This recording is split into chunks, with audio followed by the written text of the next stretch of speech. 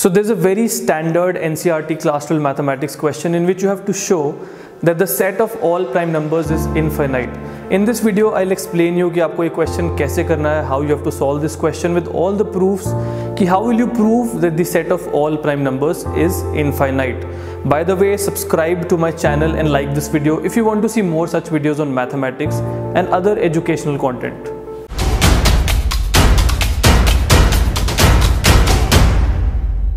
So we will start this proof with a contradiction.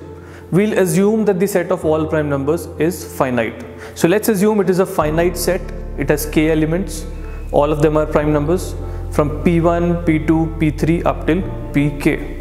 Now let's assume another number capital N which is a product of all these prime numbers p1 into p2 into p3 up till pk plus 1.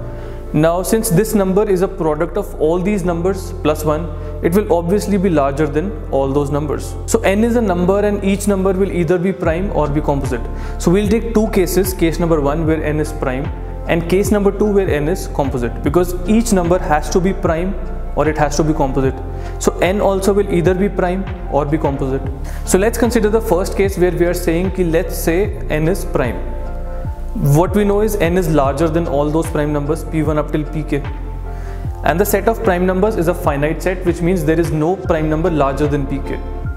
We know n is larger than pk and there is no prime number which is larger than pk. So n cannot be prime. So case number 2 is that n is composite.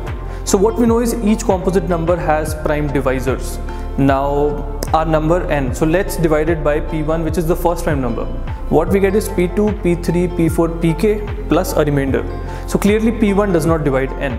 In the same way, P2 doesn't divide n, P3 doesn't divide n, and you will find out that there is no prime number which divides n, which means that n does not have a prime divisor, and since it does not have a prime divisor, it is not even a composite number. So n is neither prime nor it's composite, which clearly means that our assumption which we assumed in the beginning that the set of prime numbers is finite, it was wrong.